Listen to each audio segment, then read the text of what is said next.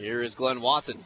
Stands on the top of the key. Now they give it deep on the right corner to Taylor. Now back up top to Webster. Gets a screen from Morrow. Thought about a return pass, but instead gives it to Roby on the left wing. Roby stops on the left elbow. Spin move, pivots, and a wide open shot from the baseline right side from six feet away.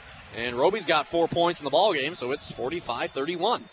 So all of a sudden, you feel like Nebraska can maybe cut into this thing. See if they can get any stops. Here's Zak Irvin in the backcourt. Gives it to Derrick Walton on the right wing. Now uh, passes it to DJ Wilson, right elbow. Fadeaway shot from 12 feet away is good with Glynn Watson in his face. And DJ Wilson, after going 0 of his first three, gets on the board with that bucket. It's 47 31 Wolverines.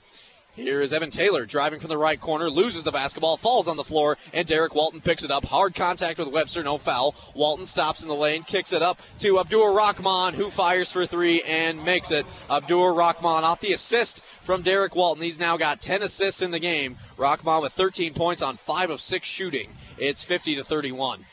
The Huskers have to figure out a way to limit Derrick Walton. He's been an assist machine. As Ed Morrow turns the ball over now on the right baseline, Walton comes up with it, tries to find DJ Wilson deep down the court, but Glynn Watson comes up with a steal. Stops at the top of the circle, gives it to Tai Webster. On the right side, Webster with a little bump, and Derrick Walton sold it pretty well. Walton falls on the floor. They call offensive foul on Tai Webster. That is Webster's second foul as we look at it again. Little crossover move. Walton's feet didn't appear to be all that set. There definitely was some contact, but uh, touchy foul there, Colton. Yeah, it looked just like a basketball play to me, to be completely honest. But I guess uh, the ref saw something we didn't. But Nebraska coming out uh, very similarly that they did in the first half, but and then Michigan, of course, turning it right back around onto them, and uh, the ball handling, of course, is. Derrick Walton fires for two in the lane, just inside the free throw line. That uh, will fall. And Walton has, I believe, now a double double. Nope, nine points, 10 assists. One more point, and he will. 52 31. This is the uh, largest lead now, as it's now up to 21 points. As Glynn Watson tries to drive the lane as the ball knocked out by Derrick Walton, so the Huskers maintain possession, working on the left basket. Watson from the baseline will kick it up top to Webster. 18 minutes left, 52 31 Wolverines.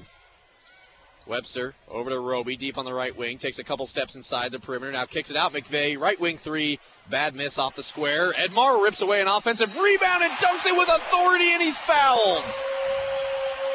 So, how about that for Ed Morrow Jr.? His first points since the first nine minutes of the game. Morrow gets the rebound, powers it out of the hands of DJ Wilson, and throws it down. He was about five feet away when he left his when he left his feet. We take another look. A spin move, took one dribble, and dunked it over Derrick Walton. Got the foul. Morrow's got six points, and the three-point play is converted.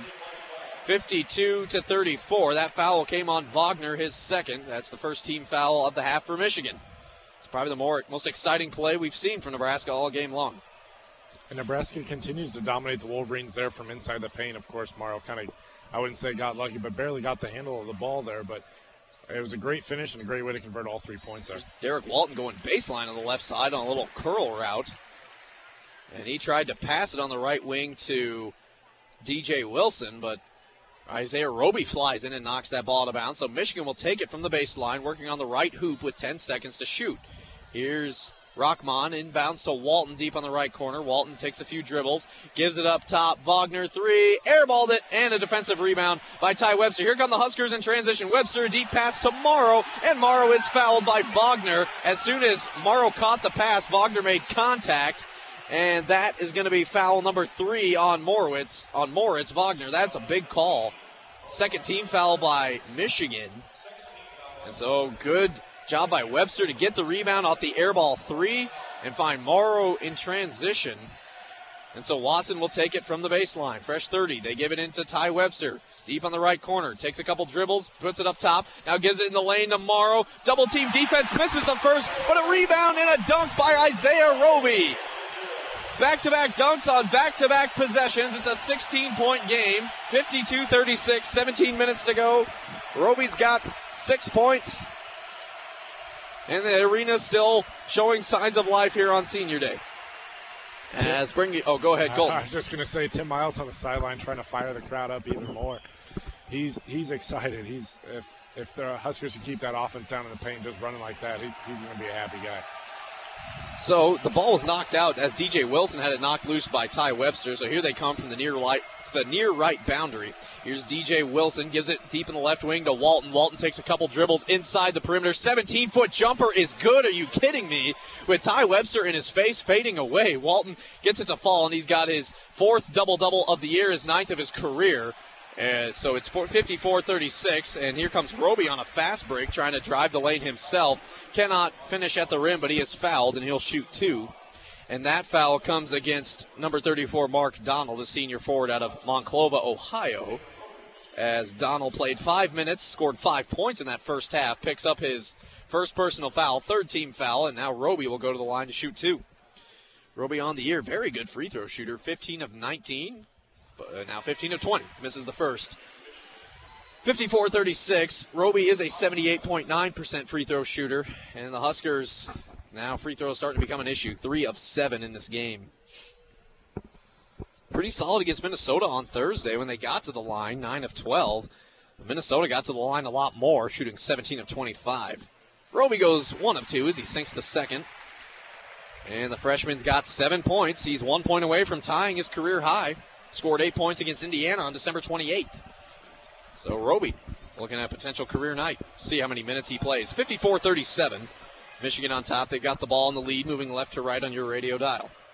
Derrick Walton holds it at the top of the circle, being defended by Webster. Now moves to the left wing, a little crossover between the legs dribble, and a three will fall. Yeah, looking at Tai Webster in the face, and Walton now two of four from three. He's got a game high 14 points. Walton's been known to take over a game a time or two for Michigan. It's 57 37 as Jack McVeigh was coming in transition, tries to fire it over to Morrow in the right corner. That pass was tipped out of bounds by Duncan Robinson. So the Huskers get the ball back with 22 seconds on the shot clock when we return. Timeout on the floor.